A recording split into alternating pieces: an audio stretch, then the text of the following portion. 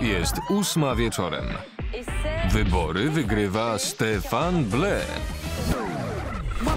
Proponuję nową lewicę, która potrafi zakasać rękawy.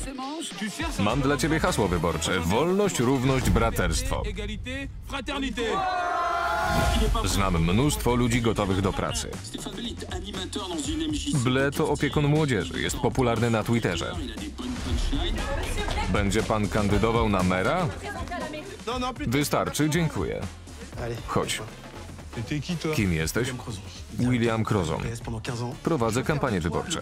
Zrobię z ciebie prezydenta. Dwóch czarnych w Pałacu Elizejskim. Jesteś czarny? Bo wyglądasz na Turka. Nigdy nie zostaniesz prezydentem. To Francja, nie Stany. Chcę ogłosić, że będę kandydował na prezydenta Francji. Marzenia marzeniami, ale rozejrzyj się. Prezydent? Oszalałeś? To tutaj. Nasza siedziba. Serio? Będę pracować od siebie. Oto Jasmin. Zajmie się naszą strategią. Nie mogę się doczekać. Miło mi. Zaskoczył mnie.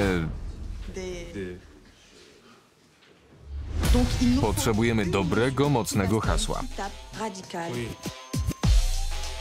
Dzień dobry. Kandydujesz na mera. Udzielisz mi poparcia? A jakie masz poglądy? Oto nasze główne hasło. Jedz zdrowo za darmo. Jedz halal za darmo. Tak przekonasz Arabów. A jest ich sporo. Odbiera mi głosy. Trzeba działać. Dlaczego nasłałeś podpalaczy? O czym ty mówisz? Andrzej namieszał ci w głowie? Co ci obiecał?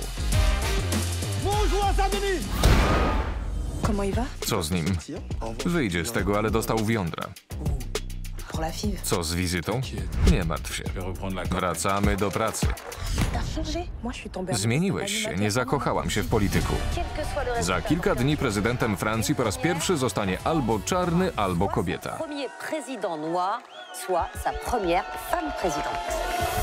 Jest pan z wyborcami czy z dealerami?